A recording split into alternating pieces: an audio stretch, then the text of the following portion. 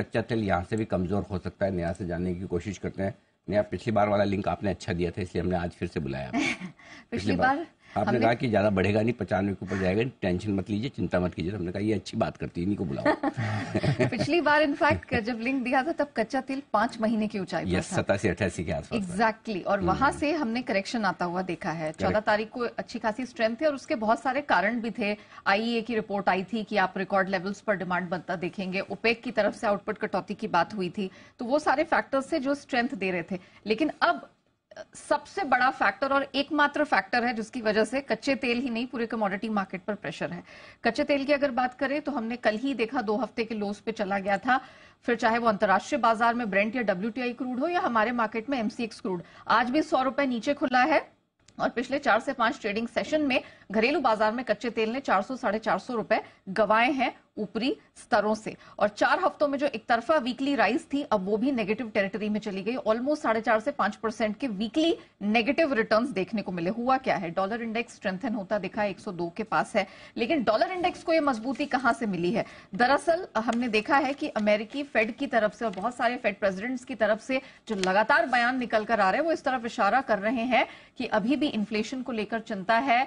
अभी भी यहाँ पर जो ब्याज दरें हैं उसमें वृद्धि की जो इन्होंने एक बीड़ा उठा रखा था, वो तुरंत अभी खत्म होता हुआ नहीं दिखेगा। ऐसा नहीं है कि अभी आपको एक ही रेट हाइक मिलेगी। आगे भी उन्होंने ये इच्छा ज़ाहिर की है कि और बढ़ोतरी यहाँ पर होनी चाहिए क्योंकि अभी भी बहुत काम बाकी है। तो ये एक प्राइमरी फैक्टर रहा है जिसकी वजह से अ, कच्चे तेल में डिमांड घटने का एक डर उत्पन्न हो गया। अमेरिका में रिसेशन आ सकती है मंदी का खतरा बन सकता है। ऐसी बहुत सारी हमने रिपोर्ट्स भी चाहे इंटरनेशनल एजेंसी एनर्जी एजेंसी हो या बहुत सारे रिपोर्ट्स निकल कर आई हैं इंटरनेशनल फ्रंट पर। वो इस इस तरफ़ इशारा कर रही हैं कि जितनी भी डेवलपिंग इकोनॉमीज हैं उनमें ग्रोथ स्लोडाउन का खतरा बना हुआ है। तो ये सारे अंडरलाइंग फैक्टर्स हैं जो कच्चे तेल में डिमांड को लेकर चिंताएँ उत्पन्न कर रहे हैं।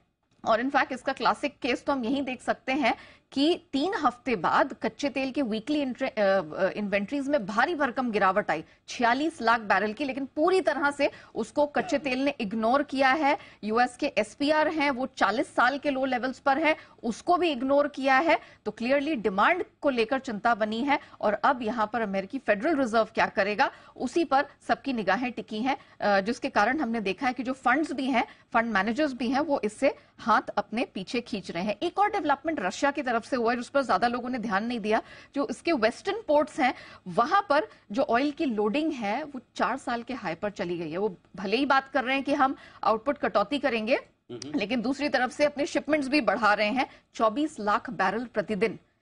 इसमें अप्रैल के महीने में वृद्धि की संभावना है। मैंने कुछ जानकारों से बात की वो मान रहे हैं कि आप छोटी अवधि में समझ के चलिए कि यहाँ पर साइडवेज टू नेगेटिव ट्रेड दिखेगा। 80 डॉलर एक बार ब्रेंड छू सकता है घरेलू बाज़ार में और सौ रुपए का करेक्शन तिरसठ सौ तक आ सकता है लेकिन वापस से पिचासी छियासी डॉलर पर कच्चा तेल जाएगा और वहीं पे टिकने की संभावना है। तो तेज़ी भी नहीं है बहुत ज़्यादा गिरावट भी नहीं है। अभी कुछ समय यहाँ पर रेंज बाउंड ट्रेड है। चलिए तो रेंज बाउंड ट्रेड है न ज़्यादा तेज़ी होगी तेज़ी तो कराओ मत। गिराओ थोड़ा बहुत आप जैसा आपकी इच्छा है। अभी मीडियम आप कह सकते मीडियम टर्म में सत्तासी से नवासी डॉलर का यहाँ पर एक स्ट्रॉन्ग रेजिस्टेंस बन गया है। 87 89 89 या ओके।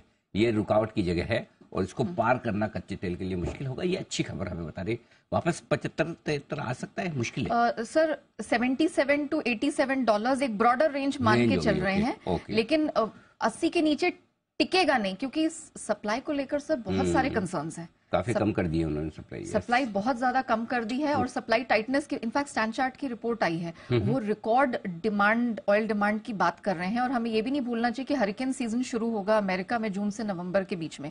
बता रहे हैं कि इस बार इतना तीव्र नहीं रहेगा लेकिन फिर भी तब मेंटेनेंस के लिए बंद हो जाते हैं। एंड ऑफकोर्स चाइना उनका जो थ्रूपुट है रिफाइनरी थ्रूपुट वो रिकॉर्ड हाई लेवल्स पे चला गया है। Okay okay. तो ये सारे फैक्टर्स हैं जो हम्म तेल को बहुत नीचे भी नहीं ले जाएँगे। चलिए ये है आपके लिए कच्चे तेल पर पूरा का पूरा एक्शन